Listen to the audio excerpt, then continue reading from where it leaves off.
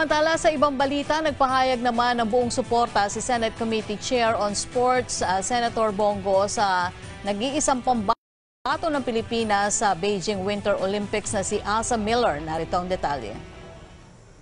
Siya si Asa Miller, isang PhilAm na tubong Portland, Oregon sa USA.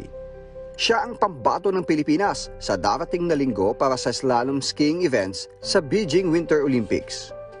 Naghayag ng buong suporta si Senate Committee on Sports Chairperson Christopher para sa dalawang skiing events na lalahukan ni Miller. Ang ina ni Asa ay taga Santa Cruz, Maynila na nakapangasawa ng Amerikano.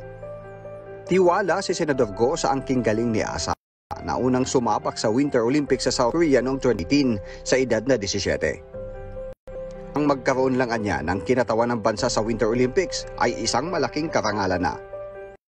Ano niya ang makakamit ni Asa sa kanyang sasalihang skiing events, patuloy siyang susuportahan. Higit 3 milyong piso niya ang inilang budget para sa paglahok ng Pilipinas sa Winter Olympics ngayong taon.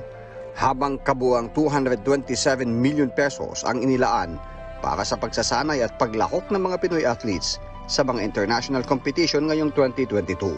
Tuloy namang naghahanap ang National Academy of Sports sa kapastarlak ng mga scholar na atletang estudyante na kayang pagsabayin ang pag-aaral at pagiging atleta para mas mahasa sa anumang sports na kanilang itataguyod.